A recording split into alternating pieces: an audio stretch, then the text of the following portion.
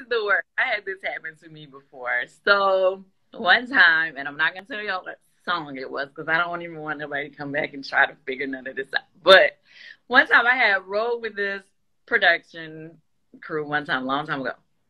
And the session went good, but I had to leave, right?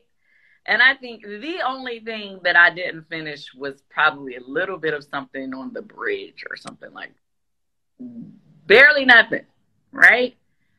So I think honestly I finished that to be honest with you. This was anyway. A year later, two years later, they ended up placing the song on an artist, right? Then they came back telling me that I was only getting like five or ten percent of the song because they said that I left and they didn't really keep what I what I wrote on the song. They ended up changing the song and whatever. And I was like, hmm, yeah, nah. I was like, I definitely believe I wrote all of that. like, they was like, no, no, you left and this, this, this, and that.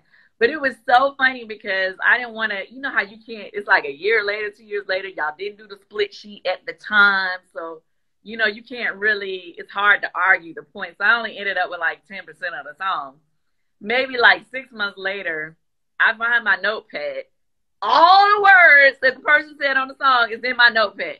See, please explain to me how I left and you changed it, but all that stuff is right here, right here. You know, I I used to um I had like I had that happen to me several times and I used to argue it down to the ground.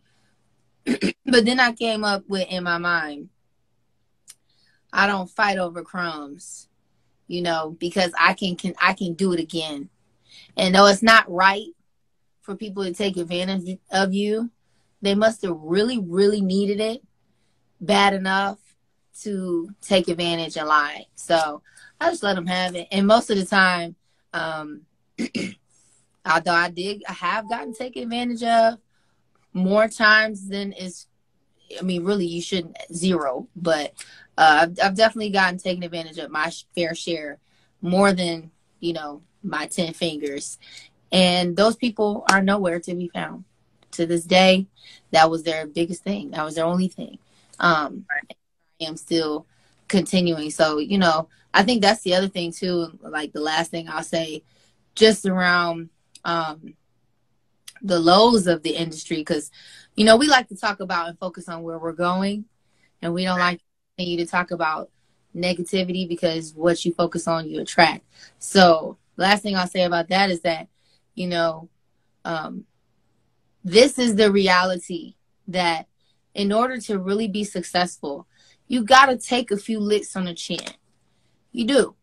You know, it's, uh, I guess what people would say, paying your dues. A lot of people won't make it that far because they get hit one time and quit. You know, you can't do that. If you really want to be successful, you got to keep getting back up when you get hit in the jaw. Sometimes, it, sometimes it hurt.